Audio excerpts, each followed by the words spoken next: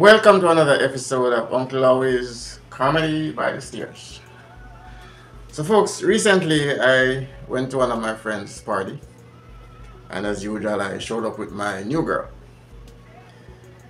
And just whenever I do that, they always amaze. And they are amazed as to how I always get in and out of relationships. I never had a problem. Woman ever coming around, fighting, breaking windows, keying my car. It was smooth sailing. I would get in a relationship and just get out. Anyway, so I showed up at the party with my new girl. She went to the bathroom.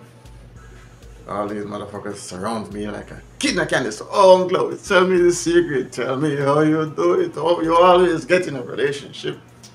I never had a problem getting out. And I said, well, don't worry, fellas, I will explain it on my upcoming special. I said, what special, nigga?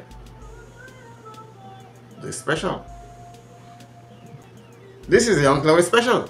Comedy by the Stairs.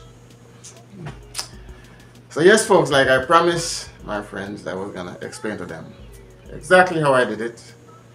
So here is it. Here it is. Okay, every time I get into a new relationship, I start giving the woman money. And whenever I'm ready to get out of the relationship, I just stop giving her money.